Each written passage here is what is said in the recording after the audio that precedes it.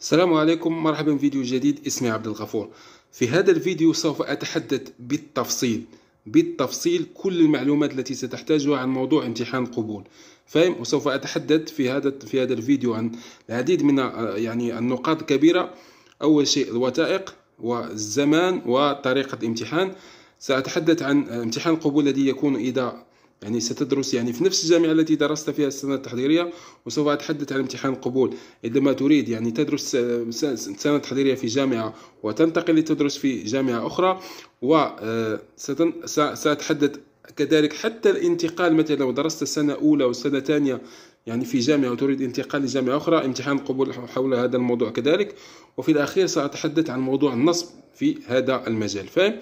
إذا كنت مهتم إذا كانت كنت يعني تدرس في السنة التحضيرية أو يعني لا زال هدفك أن تدرس في في روسيا فشاهد هذا الفيديو إلى الآخر فسوف أغلق لكم هذا الموضوع بالتفصيل. يلا like و subscribe ولنبدأ بعد هذا ال intro.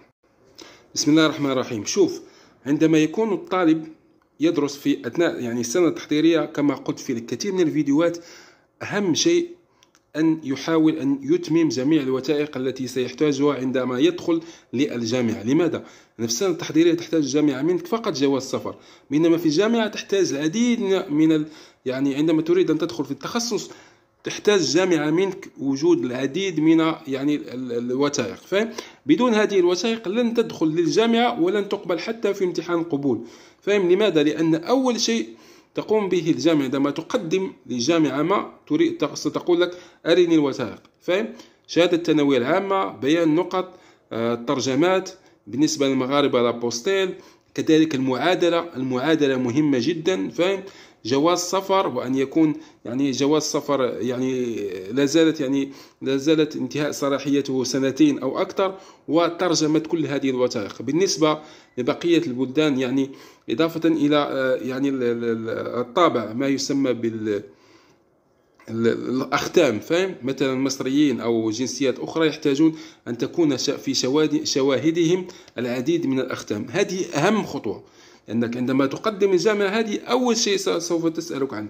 لن تقبلك لكي تجتاز امتحان القبول فاهم؟ أول شيء س... س... يعني سيطلبون منك الوثائق. الموضوع الثاني هو الزمان فاهم؟ البداية أغلب الجامعات يعني غالبا يعني السائد هو أن تقديم للجامعات يعني عندما تنتهي السنة عندما تكون تدرس السنة التحضيرية يفتح يفتح باب تقديم الجامعات ابتداء من شهر ستة. لا تتأخر لغاية شهر ثمانية. فاهم يعني أرى البعض يتأخرون لغاية شهر 8 ويبدأ يريدون التقديم الجامعات. أغلبية الجامعات لن تقبل ستقول لك أن الوقت تأخر. فاهم من شهر 6 حتى إذا كنت لازلت لم تنتهي من السنة التحضيرية قدم لهم. فاهم قدم لهم أرسل لهم تلك الوثائق فاهم سوف يسألونك في الأخير يقول لك اين هي آه، يعني شهادة السنة التحضيريه قل لهم لدي امتحان آه، يعني بعد 15 يوم وكذا سوف أحصل على الشهادة وأعطيها لكم. لأن تلك الوثائق التي ذكرت لكم في أول فيديو أهم من آه، شهادة يعني السنة التحضيرية. طريقة الامتحان شوف.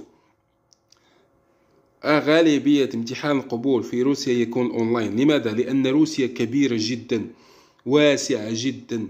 فمن مدينة لمدينة ست ساعات ثمان ساعات 12 ساعة 14 ساعة فاهم؟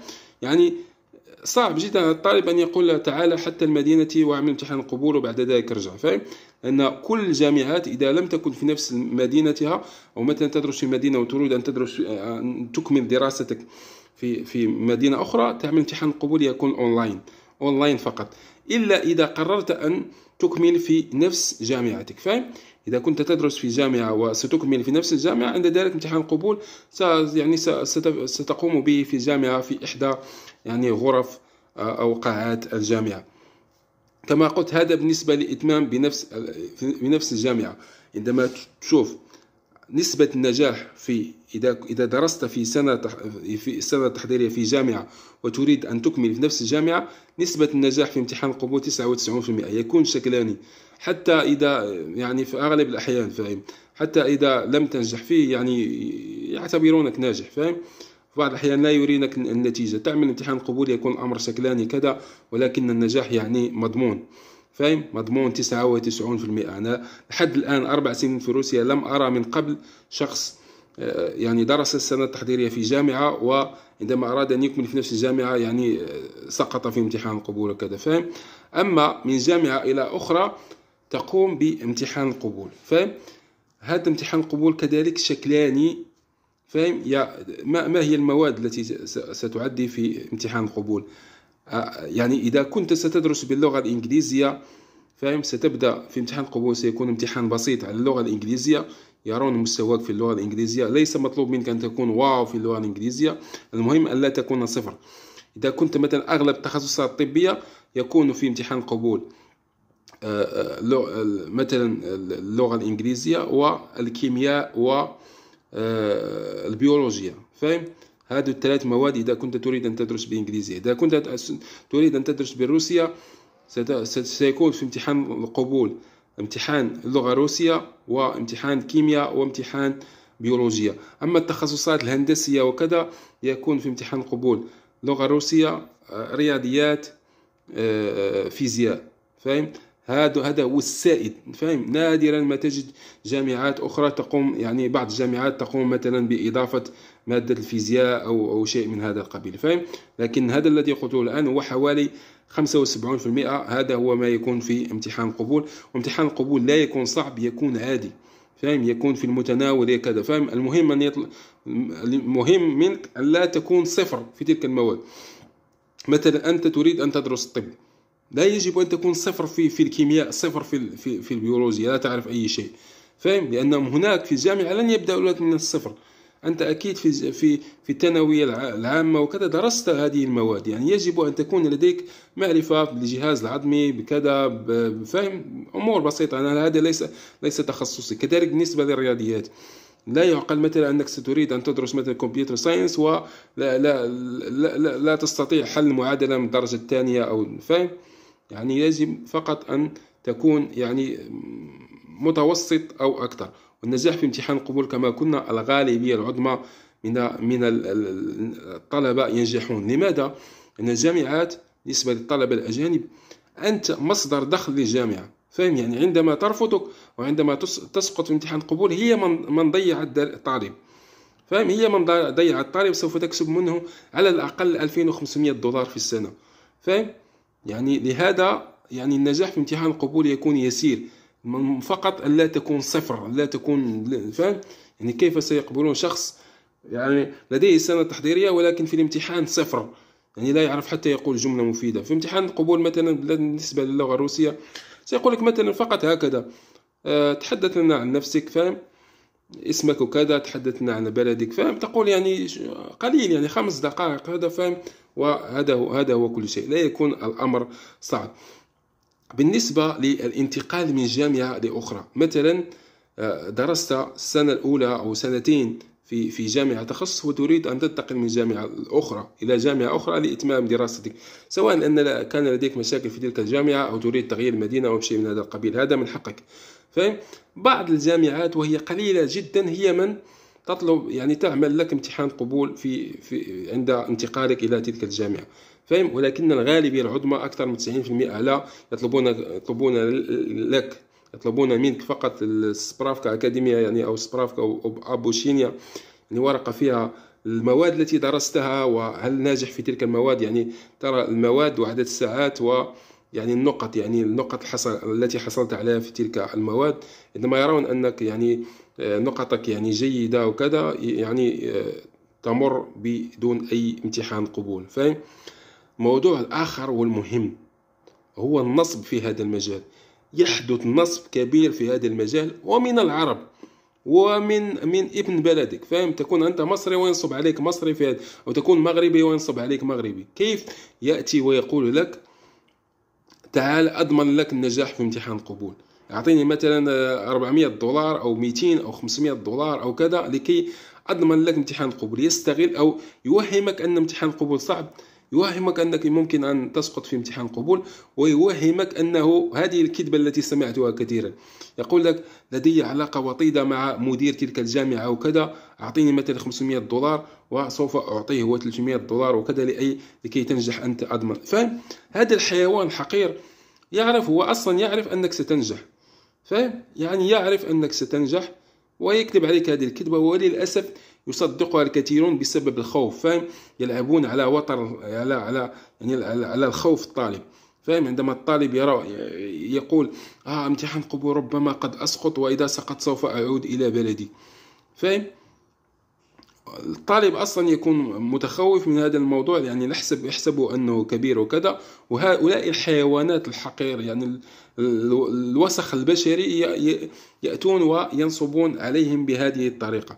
يعني لهذا أي شخص قال لك تعال أضمن لك النجاح في امتحان القبول أو أعطيني المال وسوف أعطيه للمدير وكذا لكي يجعلك تنجح بدون كذا وكذا. يعني فاهم؟ يعني اشتمه أو اضربه أو شيء من هذا القبيل. فاهم؟ لأنهم فعلا حيوانات ليسوا ليسوا بشر.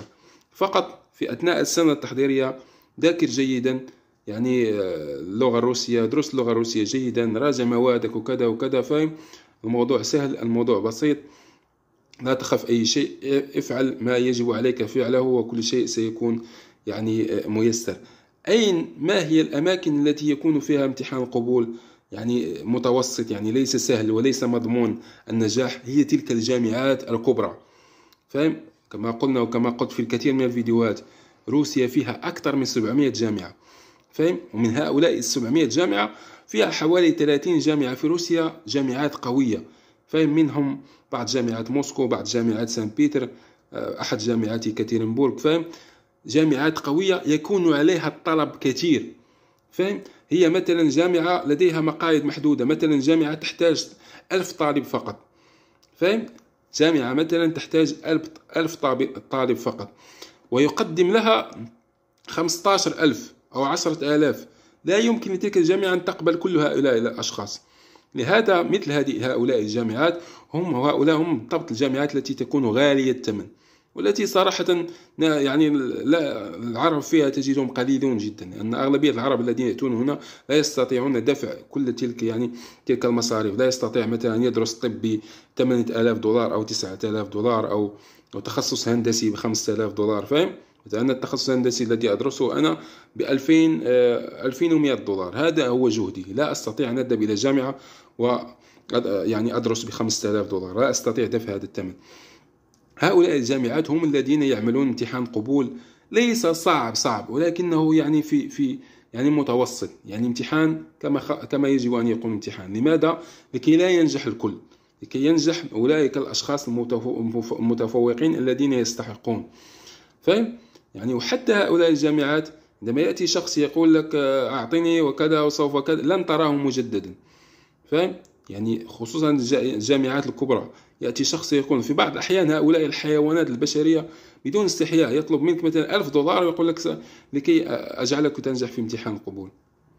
هو ليس يد ليس بيده أي شيء. مجرد أكاذيب مجرد أشخاص ليس لديهم ضمير يستغلون الخوف يلعبون على وتر الخوف الذي يشعرون به الطلبة أثناء تلك الفترة فهم ويستغلونهم وسيأخذ منك المال ولن تراه مجددا. فقط ذاكر يعني استعد للامتحان وليس في هذا الامتحان. يعني فقط ادرس جيدا أثناء فترة أثناء فترة دراستك ولن يحصل لك أي مشكل إن شاء الله. أنا كلنا درسنا يعني الحمد لله عندنا امتحان قبول والكثير من الأشخاص و...